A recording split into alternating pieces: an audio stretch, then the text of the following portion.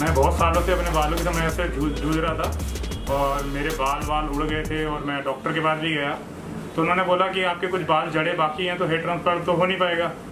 तो आप थोड़ा टाइम वेट करो, जब सारे बाल चले जाएँ, तब हम हेयर ट्रांसप्लांट कर देंगे। तो मैं थोड़ा परेशान था तो मैंने फिर यूट्यूब पर बहुत सारे वीडियो देखना शुरू करा।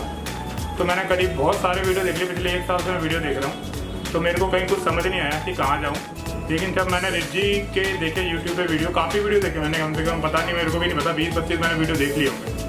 वीडियो देखने के बाद मेरे को उनका काम थोड़ा समझ आया और इसलिए मैंने डिसाइड किया कि मैं रिज्जी भाई के पास पहुँचूँ।